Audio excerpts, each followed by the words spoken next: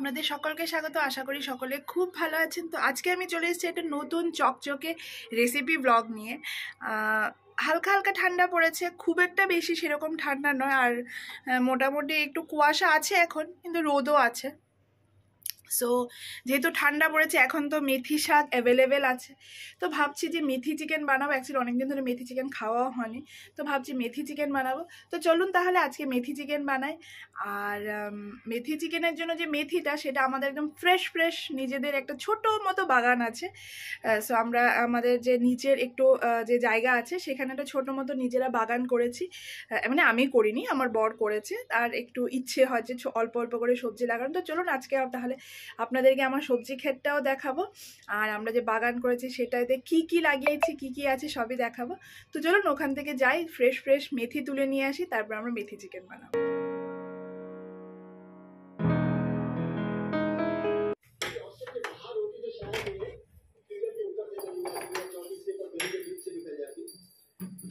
thank you. তো আমরা এখন নিচে যাচ্ছি। যে আমাদের সামনে দেখতে পাচ্ছেন? একটু ছোট মতো একটা বাগান।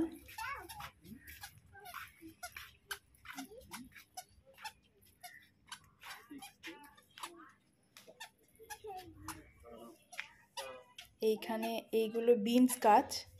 যদিও এখনও ফুল জাস্ট ফুল ধরেছে, এখনও বিনস হয়নি। ফুল এসছে। তারপর আর কিছুদিন পর বিনস হবে। আর এইটা হলো বিট বিট যে হয় বিটের গাছ। এখানে কিশোর লাল শাক তুলছে। ভাবছি আজকে একটা মিক্সড শাক বানাবো। মেথি শাক। মেথি শাকটা আপনাদেরকে দেখিয়ে দিচ্ছি।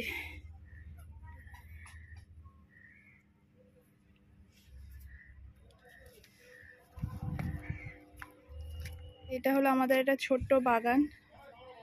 যেখানে আমরা অল্প অল্প করে সবজি লাগাই, নিজেদের মতো করে নিজেদের হয়ে যায়। আর আমার মেঘ বাবা এখানে দুষ্টু করছে।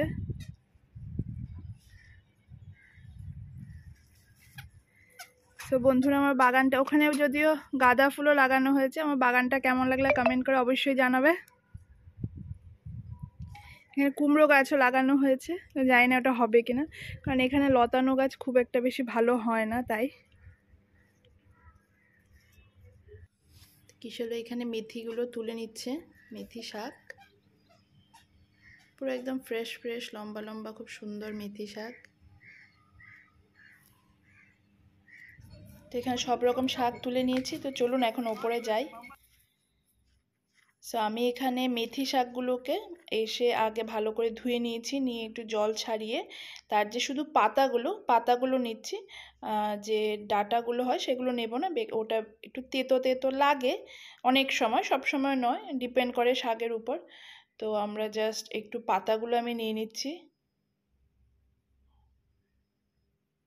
আমি পাতাগুলো নিয়ে ওগুলোকে ভালো করে জল দিয়ে, নুন দিয়ে একটু ভিজিয়ে রেখে দিচ্ছি। আর এখানে আমি আদা, রসুন আর কাঁচা লঙ্কা, টমেটো সব নিয়ে নিয়েছি। এখন এগুলোকে পেস্ট করব। তো আমি এখন প্রথমে টমেটোটাকে পেস্ট করে নিচ্ছি। নিয়ে একটা বাটিতে নিয়ে নিয়েছি পেস্ট করে। আর আদা, রসুন আর কাঁচা লঙ্কাটাকে একসঙ্গে পেস্ট করে একটা বাটিতে নিয়ে নিয়েছি। তো সবার প্রথমে একটা কড়াই নিয়ে নিয়েছি। কড়াইতে আমি তেল দিয়ে দিয়েছি অনেকটা। এখন তার মধ্যে দিয়ে দিচ্ছি শুকনো লঙ্কা। আর এলাচ, দারচিনি, লং। দিয়ে এটাকে একটু হালকা ভালো করে ভেজে নিচ্ছি। ভাজা হয়ে গেছে। এখন আমি তার মধ্যে দিয়ে দিচ্ছি পেঁয়াজ। পেঁয়াজটাকে একটু ভালো করে ভেজে নিই। পেঁয়াজটাকে একটু গোল্ডেন ব্রাউন হওয়া পর্যন্ত ভেজে নিতে হবে। তো একটু হালকা হালকা গোল্ডেন ব্রাউন পেঁয়াজটা হয়ে গেছে। আমি তার মধ্যে নুনও দিয়ে দিয়েছি। এখন আমি তার মধ্যে দিয়ে দিচ্ছি হলুদ।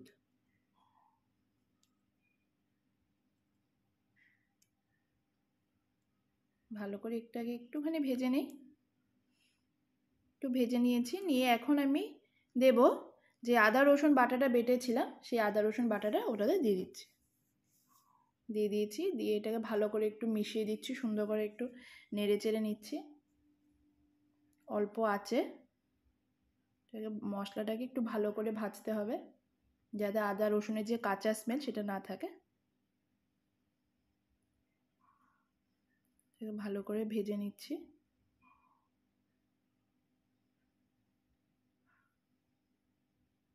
দেখুন কালারটাও চেঞ্জ হয়ে গেছে, পুরো ভাজা হতে হতে। কালারটাও চেঞ্জ হয়েছে, এটা পুরো রান্না হয়ে গেছে মানে পুরো ভাজা ভাজা হয়ে গেছে। এখন আমি দিয়ে দেবো তার মধ্যে যে টমেটো পেস্টটা করেছিলাম, সেই টমেটো পেস্টটা কিন্তু সবটা দেবো না। আমি মানে অল্প একটু টমেটো পেস্ট রেখে দিচ্ছি, কিছু বেশি পরিমাণ টমেটো পেস্টটা এখানে দিয়ে দিয়েছি। দিয়ে ওটাকে ভালো করে একটু মিশিয়ে সুন্দর করে একটু কষাবো। পরে ওই টমেটো পেস্টটা আমি আবার ইউজ করব, তাতে তার টেস্টটা আরও ভালো আসে। তো আমি এখন আবার, এখন তার মধ্যে দিয়ে দিলাম লঙ্কা গুঁড়ো। লঙ্কা গুঁড়ো দিয়ে ওটাকে একটু ভালো করে নেড়ে চেড়ে মিশিয়ে নেব।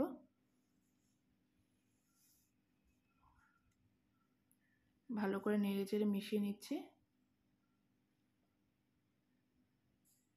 এখন এটাকে একটুখানি ভালো করে কষাবো, যাতে সাইড দিয়ে যতক্ষণ পর্যন্ত তেলটা না বেরিয়ে আসবে ততক্ষণ পর্যন্ত এটাকে ভালো করে কষিয়ে কষিয়ে একটু রান্না করব। এখন প্রায় মশলাটা অনেকটাই কমে গেছে। মানে ওটা যে কষানো, কষাতে কষাতে ওটার কনসিস্টেন্সিটা অনেকটাই থকথকে হয়ে গেছে। সো এই অবস্থায় আমি এখন তার মধ্যে দিয়ে দেবো চিকেন পিসগুলো মেথি চিকেনে মোস্টলি যদি বোন লেস না হয় মানে বোন যুক্ত হয়, তাহলেই বেশি টেস্ট আসে। সেটা আমার মনে হয়, আপনারা বোনলেসও ইউজ করতে পারেন। অনেক অনেক ভিডিওতে দেখেছি আমি যে বোনলেস চিকেনও ইউজ করেছে। বাট আমার মনে হয় যে এরকম হাড়যুক্ত চিকেনটাই বেশি টেস্ট লাগে। সো তার মধ্যে এখন আমি দিয়ে দিয়েছি ধনে গুঁড়ো, এক চামচের মতো ধনে গুঁড়ো আর সামান্য পরিমাণ জিরে গুঁড়ো। দিয়ে ওটাকে ভালো করে একটু মিশিয়ে নিচ্ছি। হাতাটাতে একটু লেগে গেছিল, ওটা একটু ছাড়িয়ে নেই। তো এখন এটাকে ভালো করে একটু নেড়ে চেড়ে ঢেকে দিচ্ছি।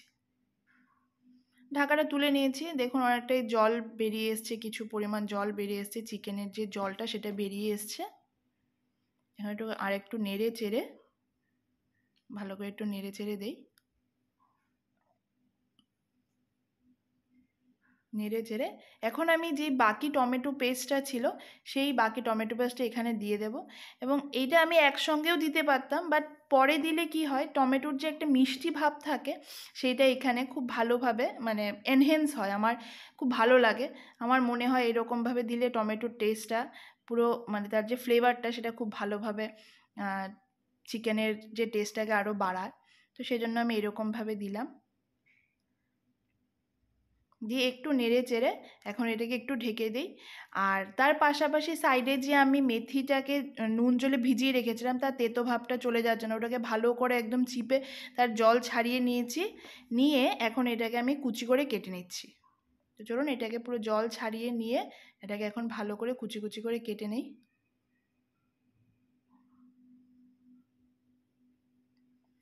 কুচি করে কেটে নিয়েছি, একটা বাটিতে নিয়ে নিই।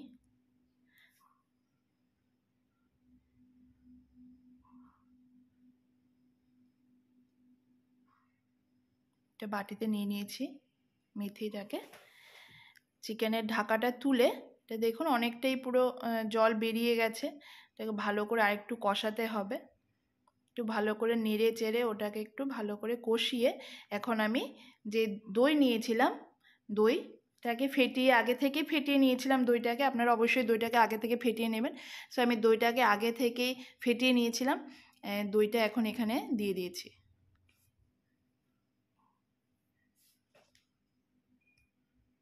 দই দেওয়ার পর সবসময় লো ফ্লেমে রান্না করতে হয়।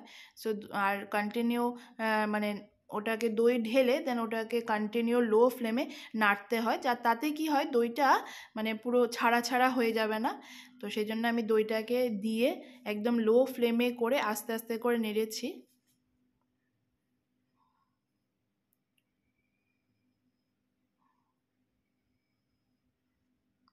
পুরো খুব সুন্দর একটা কালার চলে এসছে।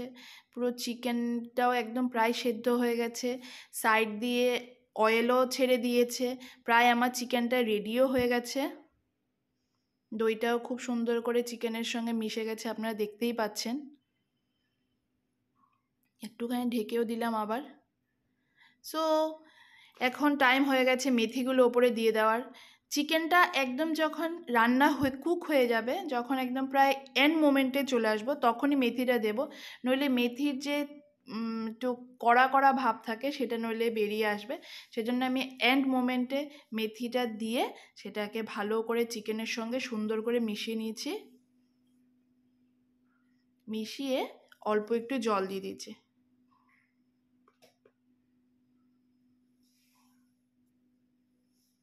এটাকে সুন্দর করে মিশিয়ে অল্প জল দিয়ে ভালো করে নেড়ে চেড়ে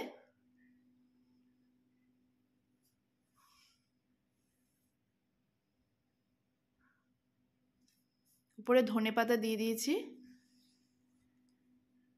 মেথি চিকেন আমার একদমই রেডি হয়ে গেছে, একদম তৈরি। আপনারা ওটাকে গ্রেভিও রাখতে পারেন বা একটু শুকনো শুকনোও রাখতে পারেন, যেরকম আপনাদের টেস্ট যেরকম আপনারা খেতে চান।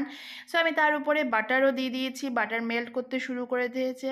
সো বন্ধুরা, আমার মেথি চিকেন একদম রেডি হয়ে গেছে। এটাকে আপনারা পরোটা বা নান রুটি যে কোনো সঙ্গে ট্রাই করতে পারেন ইভেন পোলাওর সঙ্গেও খাওয়া যায়। সো আজকের জন্য এই পর্যন্তই। পরে আবার দেখা হবে অন্য কোনো নতুন ভিডিও নিয়ে। ভিডিওটি কেমন লাগল অবশ্যই কমেন্ট করে জানাবেন। আর আমাকে একটু সাপোর্ট করবেন ভিডিওটিকে লাইক করবেন। যারা যারা আমার চ্যানেলটি এখনও সাবস্ক্রাইব করেননি, তারা প্লিজ আমার চ্যানেলটিকে সাবস্ক্রাইব করে দেবেন। আমাকে একটু এগিয়ে যেতে, যাতে আমি আমার এই নতুন নতুন রান্না বা পুরনো সব রকম রান্না আপনাদের সঙ্গে শেয়ার করতে পারি। তো আজকের জন্য এই পর্যন্তই। পরে আবার দেখা হবে। Bye bye